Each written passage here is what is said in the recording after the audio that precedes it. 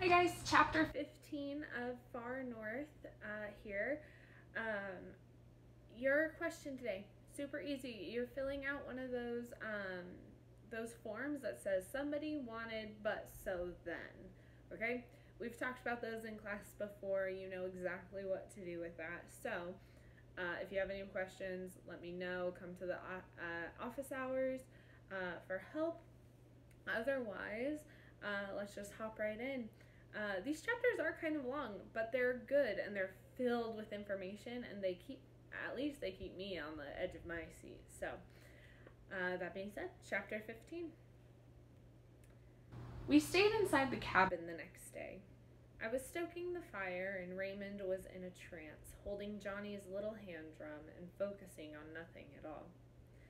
Outside, the wind down from the Arctic was blowing a gale, as it almost always did in Deadman Valley bending the tall spruces as if they were saplings. The gusts blasted down the frozen river, driving the stinging snow and compressing it into drifts. In the afternoon, Raymond took the letter out and read it over to himself, then folded it back up and stuck it in his pocket. The letter didn't seem to give him any peace. I took the file and sharpened the axe just to have something to do. Raymond never noticed me. Why do you guys think that is? Why is Raymond in his own world right now?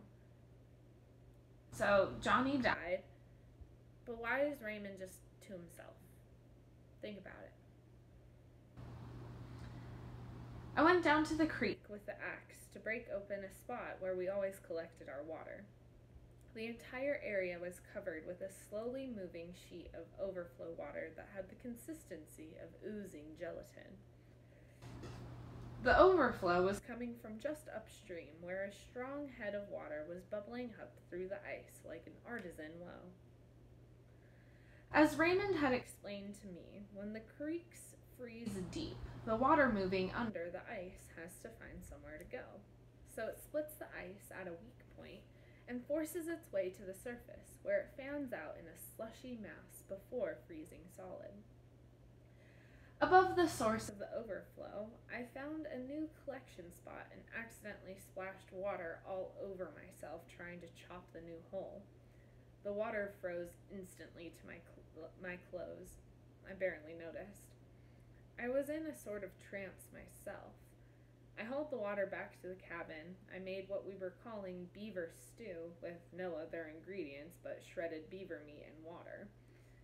All the while, my mind was racing. I had only one thought escape down the frozen Nahanni while we still had food and strength. There had never been another airplane. We'd quietly given up on the signal fire at least ten days ago. We had to do something. The two brothers this valley was named after, the prospectors back, to, back in 1908, didn't get out in time. I handed Raymond a plate of beaver stew. He looked at me as if he'd never been away, and he said, We have to get out of here. Amen to that, I agreed. And before it snows again, a lot of snow would make it a whole lot harder. Hike out down the river. Is that what you're thinking too? With a nod, he said, There's no other way. We only have two bullets left. Uh, we don't have any reason to think the moose are still around, and even if they were, I can't hunt like Johnny. Let's go while, while we still have the beaver meat. If we come to open water, we'll just walk around it. How far is it down to Nahanni Butte, do you think? Too far to carry the meat and everything on our backs. It could be a hundred miles, and who knows how long it would take us. We need to make a toboggan. Is it a canyon all the way? The last 40 miles or so is all different. It's called the Splits. That's where I got my moose. The river winds all over the place. It's got lots of islands, lots of different channels, all open country, real flat. We found two perfectly straight young birches in the ridge, three or four hundred feet above the floor of the valley. We prepared the logs just as Johnny had, stripping long slats for the toboggan the same way he'd stripped the material for the snowshoe frames. Then we went to work with my pocket knife and Raymond's sheath knife, whittling our narrow boards down to roughly uniform thickness. Raymond slowly worked the bend into the slats at one end, shaping them over his knee. We lashed them together with babiche and tied the curved front end back to the toboggan to keep the proper bend in place while the wood was drying out. The toboggan took us three days to build. As we were finishing it, I scooped up ha- a handful of shavings and was about to toss them in the stove. Raymond said, Maybe we shouldn't do that. Why not? The elders always take the scraps outside and spread them out in the woods. They say otherwise you won't find a good birch when you need one. I thought about it and said, there might be something to that. I guess it's showing respect for a tree. They always say even the trees have spirits. Sounds crazy, I guess. I said, if I had never been to the north, maybe it would sound crazy to me. But I'm getting the idea. It's like what Johnny said make more beaver. When I said that, he added, They say that living things don't die right away when they're killed or cut down. The spirit can stay around for days or months or even longer. Same as our old friend, I pointed out. We used the bowline, bow line I salvaged from the raft as the pull rope for the toboggan. It was all we had left of the parachute cord. We attached it at both ends on the front. One of us would pull the toboggan by walking inside the rope. On the last day of the year, December 31st, we pre cooked all the beaver meat for our hike out. It was Raymond's idea. The easy part was the quick freezing. Set your plates of stew outside the door, wait 10 minutes, then chuck the rations into the army box. The meat filled one box and half of a second one. Sometime during our last night in their cabin, a bird started croaking not very far away. Did you hear that? Raymond whispered. Is it a raven? Ravens aren't supposed to talk at night. That's not a good sign. In the morning twilight, we decided on what was absolutely essential. Everything else we'd leave behind. We'd take along Johnny's moccasins and his blanket, We'd leave most of the pots and pans. Raymond's gym shoes, the camp shovel, Johnny's parka, the beautiful beaver pelts he had tanned. Raymond looked a long time at Johnny's hand drum, then said, I'll come back for this next summer. We lashed everything down on the toboggan, including all three pairs of snowshoes. We rigged the axe where we could get at it. Raymond shouldered the pack sack, latched the door, and picked up the rifle. I started out pulling the toboggan and had the day pack on my back. It was New Year's Day and 40 degrees below zero. That's 72 degrees below freezing, I thought. I took a glance back at the cabin and saw the blue smoke drifting out of the chimney and spreading out along the ground. I remembered the night Johnny had led us to this cabin under the northern lights, and I thought about all that had happened there. Raymond, I realized, was also looking back. The surface of the Nahanni was mostly glare ice. The toboggan was sliding along behind me of its own accord. The walking was so easy we soon rounded an island, passed a second, and found ourselves about where our log raft had piled against the ice a month before. Not far ahead loomed the tall gate of the lower canyon. A short while later, we entered the gate and passed inside. A couple of miles and around a bend, we encountered an icy fog hugging the bottom of the canyon. It had to be coming from open water. Raymond and I looked at each other and said nothing. Forty below zero, yet open water, just as we feared. So, because if there's open water, that means they can't go on. They can't be traveling on the river like what they're doing. So that means they're gonna have to go back in to the forest where there's snow, which is something that makes traveling so much harder. So they're like, oh man, this stinks. So that's why they're like, oh, just as we feared. When we got down to the riffles, our fears eased. It was only a narrow strip of running water, with a cliff on the side, but plenty of room to get around on the right. On the right. Every mile or two, we encountered another stretch of open water. I couldn't understand it. Right beside the exposed water, the ice would be full two feet thick. I don't get it, I said. Why isn't the ice two feet thick all across the river? What causes these open spots? It's January. Beats me, Raymond said. Maybe tricky currents can rile up the water and keep it from freezing. That might explain it. Maybe there's even hot springs right under the bed of the river. I know about some further down. I've been there, right where the canyon ends and the splits begins. So they were nervous because they saw this open water, but it ended up not being that big of a deal. If if this is as wide as the river was, the open water was only about this big. So they're still able to get through on the ice on the other side. Uh, let's see. We pushed on between the blue gray walls of the canyon. The rim of the canyon, thousands of feet above, glowed pink, signaling day's end coming soon, and we thought better of continuing.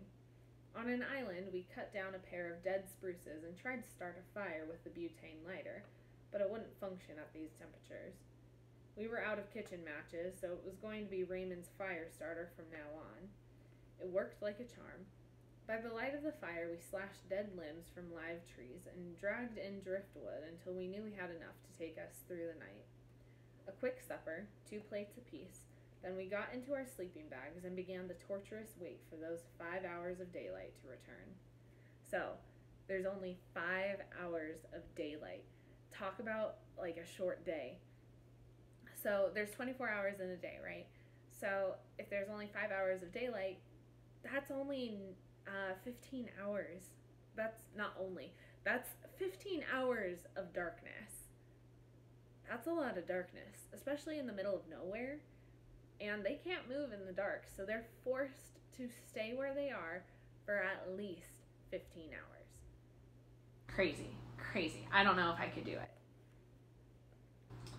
Um, we sat up into the night, stoking the fire, trying to stay as warm as possible. Raymond said, I wish we could have been at Nahanni Butte for Christmas. You wouldn't believe the food. Try me. Raymond's face glowed. After church, there's a great big potlatch, a feast. Everybody comes. It's in the community hall. So, a potlatch, okay, it's spelled P O T L A T C H. It's what we would call a potluck, right? Uh, it's just the Canadian version of saying that. So, if we were going to have a potluck for our class, I would bring stew. Miss Short could bring dessert. Mrs. Schluger would bring a salad. Okay, everyone brings a different dish, so that's what a potluck or a potlatch is. How many people is that? Oh, about 85, I guess. You're kidding. I was picturing it more like three or four hundred. He tossed a branch, a big branch, on the fire. That's the good thing about Nahanni. Everybody knows you. Everybody looks out for everybody else. Tell me about the feast, I said. That's the part I want to know about. Well, there's everything you could think of modern food and traditional. People always save bear meat for potlatches, black bear, with great big straps of fat. That is my favorite. Uh, when will the next potlatch come along? Oh, there'll be one for Johnny, a real big one. People will come from all over. They'll tell about the things he did in his life, and they'll feed his spirit by putting some food in the fire. I can picture you doing all that in person, I said. You'll be there. We're going to make it. I could tell about what he did in the very last part of his life. We slept as best as we could on the blue tarp spread over four inches of branches. Every few hours, we'd start shaking, and one of us would get up and heap another round of fuel on the glowing mass of coals. The next day, the wind quit, quit blowing down the canyon, the sky turned a dark gray, and the temperature rose to 10 below. The walls of the canyon climbed sheer from the river in some places, in others they rose from slopes of shattered rock. The walls were composed of horizontal bands of lime, limestone from river to sky, like the bluffs along the Guadalupe River back in the Texas Hill Country, but on a much grander scale, with the dwarf evergreens clinging to impossible locations and frozen waterfalls attached to sheer rock faces and glowing pale blue. Every time we encountered open water, we found a way around one side or the other. Our hopes were soaring. We'll be taking a bath in those hot springs soon, Raymond said. Instead of instead of a sponge bath, without a sponge. Late in the day, we passed an island with the typical massive drift pile on its upstream end. We talked about camping there, but islands and drift piles were plentiful, and an hour of twilight remained. We decided to press on. Raymond was pulling the toboggan, and I had the pack sack on my back. Just below the island, where the canyon narrowed, open water rushed out from under the ice and sped toward a cliff on the left side, leaving no ice to walk on over there. From the cliff, the strip of open water angled gradually back across the entire width of the river, passing briefly under a big ice bridge before splashing again uh, against another sheer cliff a short distance down on the right side of the canyon. Bad luck, I said. Open water from cliff to cliff. We were stopped, unless we wanted to try crossing the ice bridge. I looked downriver. If we got past this place, it was good walking as far as I could see. We approached the ice bridge and took a closer look. It was about 50 feet across and about 10 to 20 feet wide, with ice shelves extending to the shores on either side. What do you think? I asked Raymond. It looks to me like it should hold us. Raymond kept studying the bridge. Could we build a raft and get across here? There's that drift pile we just passed. We don't have any parachute cord except for the pull rope on the toboggan, and that sure wouldn't do it. I don't know. Maybe we could tear some of our stuff into strips to tie the logs together? I don't know either, Raymond said slowly. The water's so fast. Even if we could patch together some kind of raft tomorrow, we'd have to launch it just past the ice bridge, and from there, it's such a short distance on the water. Fifty meters, maybe? Then the raft would crash against the cliff at the bottom and we'd be scrambling to get out on the ice. What if the ice down there wouldn't hold us? It'll all be happening real fast, I said. That's for sure. It's getting late, Raymond said, looking around. I think fooling with a raft would be riskier than the ice bridge. We sure could waste a lot of time and wreck our stuff trying it. Dropping the pack sack to the ground, I took off my parka and cap, my outer mitts, and then my gloves, and tucked them under the lashing on the toboggan. I started for the ice bridge. I'll test it first without all of this stuff. So, what they're doing. So basically, the water is rushing underneath the ice, but it's caused so much water and like there's open water from side to side, they can't just walk However, because of how thick the ice can be, there's a bridge. So if this is where the water is, the bridge is over top. So they're trying to get across this open water by walking on ice. So that's why they're so like kind of freaking out. They're like, "Okay, we got to be careful. This is this kind of dangerous, stuff like that." So, I'll test it first without all this stuff on. Careful, Gabe. I took a few steps onto the ice bridge. So far, so good, I said. I think it's okay. Are you sure? I heard from behind me. Slow and easy, I said, taking a few more steps. I glanced back and saw Raymond there, watching intently. Halfway across, with no warning, the ice broke with a sudden crack. I spun around, trying to get back safely, but the big middle piece of the bridge under me slumped and broke free into the river. As I struggled for balance, the mass of ice started floating downriver with me on it. I looked over and saw Raymond on the shore with, and saw the shock on his face. Then I looked downstream and realized exactly what was going to happen. If I floated past that cliff on the right, Raymond couldn't possibly reach me. Just as I realized I was going to have to swim for it, the ice underneath me rolled and I was pitched into the water. Now you've done it, I thought. The shock of the cold water squeezed all the breath out of my lungs. I caught a glimpse of Raymond running along the bank. All encumbered by my heavy clothes and boots, I swam as best as I could for the shore. I had to get to the shore before the cliff, or I was dead. I concentrated on Raymond's face inside that circle of fur on his parka ruff. The wall was coming up fast. I swam with all the strength I had left, fighting the clothes and the boots. I thought I'd lost, but his arm reached out and yanked me out of the water and onto the ice. Get up! he was yelling. Get up? I couldn't breathe. He stood me up, and my clothes stiffened just that fast. He hustled me along the shore, stopping only to pull on my parka mitts and, and cap. We need fire, he shouted, and started yanking the toboggan upriver. We've got to get back to that drift pile. I ran alongside, thinking, Now you've done it. Now you've done it. I kept stumbling forward, encased in my ice hardened clothes, losing the feeling in my arms and legs. I could see the drift pile now in the dimming twilight. All pumped up with adrenaline, I ran ahead of, of Raymond. When we got to the drift pile, I kept running back and forth, just trying to keep moving. I was aware of Raymond gathering kindling. I saw him take shredded birch bark out of his pocket. I saw the shower of sparks from his fire starter. I watched his kindling catch. I rushed I rushed over and he pushed me back. He was adding more sticks, babying his fire. I was standing there, frozen as a post, brain frozen too. Raymond turned to the toboggan, freed the tarp, threw the spare clothes on it, including Johnny Raven's moccasins. The wind was fanning the fire into the heat of the drift pile. It was dry wood and it went up fast. I stood close, too close. Raymond yelled at me to get back, and he helped me strip off my wet clothes. The drift pile was be- drift pile was becoming an inferno of heat. Within another five minutes, I was flash cooked. I changed into dry clothes, pulled on Johnny's moccasins. The flames soared 20, 30 feet high, pushing us further and further back, lighting up the canyon walls hundreds of feet above. The danger was over. No damage was done. Raymond nodded toward the bonfire. It's not a hot spring, but same idea. You saved my life, I said. Raymond waved me off.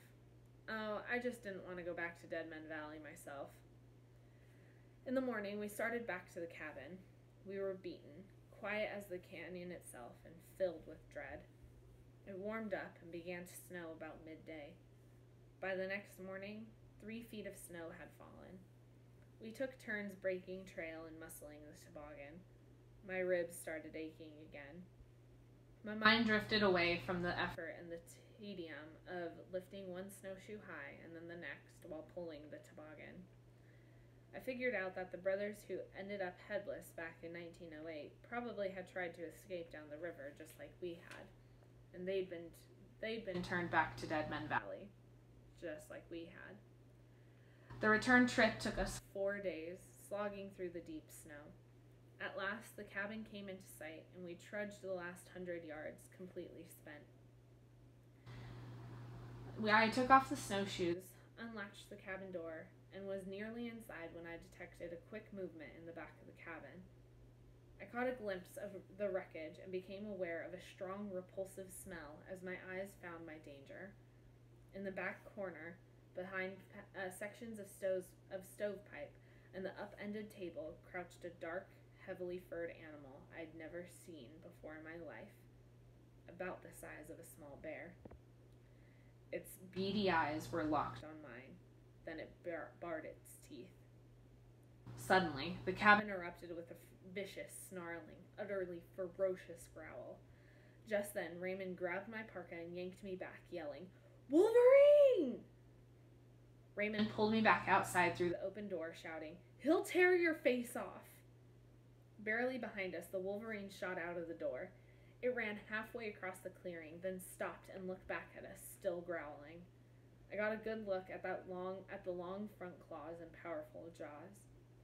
They're not that big, Raymond said, but even grizzlies leave them alone. In another moment, the nasty tempered, sl- low slung little beast loped off into the field with a strange, bounding gait. How'd he get in? I wondered aloud. We stepped back inside the cabin. The place smelled rank, worse than musky. My question was answered as I looked up to see a hole in the roof where the wolverine had torn out the roof jack and knocked the stovepipe apart.